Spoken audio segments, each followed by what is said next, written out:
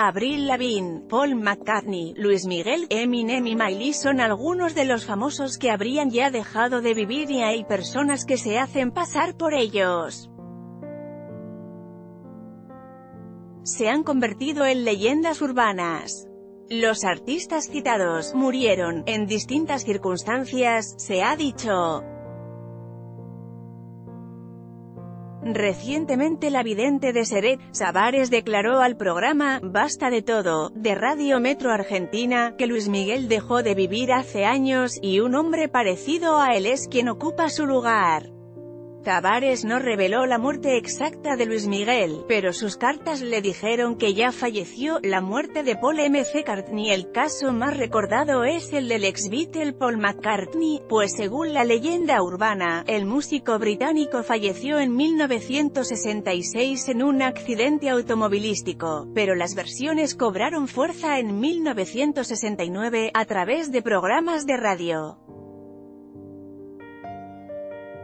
El artista sería reemplazado por un hombre llamado William Sears Campbell que, supuestamente, había ganado un concurso por su parecido a Paul.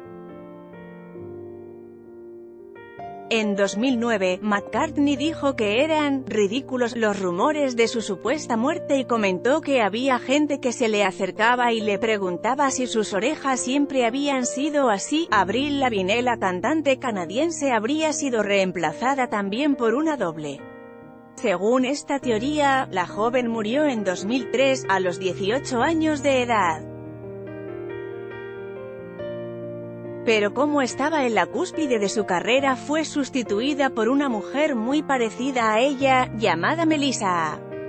El análisis de imágenes anteriores y posteriores a esa fecha han sido usadas para sustentar esta leyenda.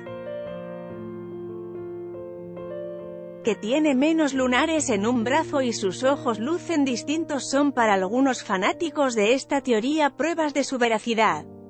Lo cierto aquí es que Lavigne ha luchado durante años contra la enfermedad de Lyme. Eminem de Eminem se ha dicho que falleció durante 2006 a causa de una sobredosis y un hombre muy parecido a él ocupa su lugar. Las pruebas parecen estar en algunos cambios en su imagen y también en cómo modificó su manera de vestir y sus letras. Miley Según teorías de este tipo, esta cantante perdió la vida en un accidente automovilístico en 2007. Su muerte sucedería en pleno éxito de Hannah Montana, y ejecutivos de Disney se habrían encargado de buscar una doble para no perder el negocio. La Miley que hoy todo mundo vemos en conciertos y redes sociales sería una mujer muy parecida a ella. En esta nota,